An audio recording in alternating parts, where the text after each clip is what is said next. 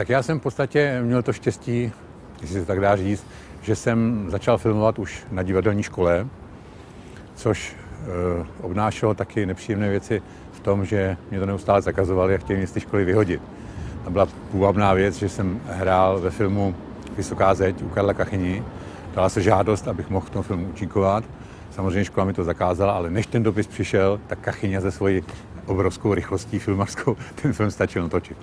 Takže já jsem natočil Ďáblou past Osení a pak tohle to byl, myslím, třetí nebo čtvrtý film muž z prvního století. No, já mm, jsem teda začínal jako herec, myslím si, že byla tam obrovská věc, že jsem měl možnost spolupracovat s řadou režisérů. Takže sice jsem pak dělal FAMu jako režii, ale nejvíc jsem se naučil právě tím, že jsem dělal, já nevím, s Kachyňou, s Vláčem, se Sadkovou a pozoroval jsem prostě je při práci a to byla obrovská škola, která se nedá v žádný, žádný škole kamenný se to nedá prostě získat to, co jsem získal s nimi. V tomhle filmu jsem hrál takového vlastně chlapíka z budoucnosti se svojí par- s partnerkou Kajlichovou. Nevím, jestli ještě hraje vůbec, už jsem ji dlouho neviděl. No a v podstatě to byla taková milovnická role, taková jedna z řady těch, který jsem nenáviděl celý život.